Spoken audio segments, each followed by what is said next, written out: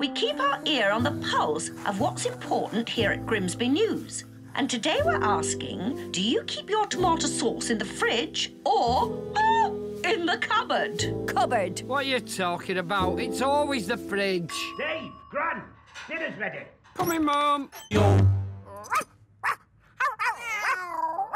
Oh, look, it's a little cat. Hey, kitty, kitty. Dave. Oh, I think it's hungry. It must have smelt your mum's cooking. Tough. Once you feed a cat, they never leave. Shoo, you mangy moggy.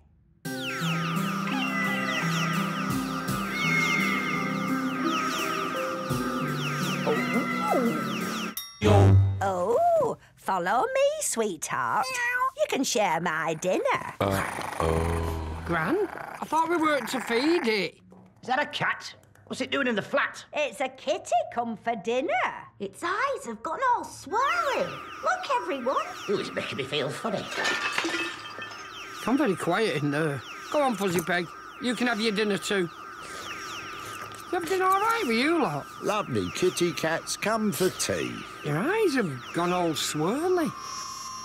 Meow. Sit down and eat your fish soup, Dave.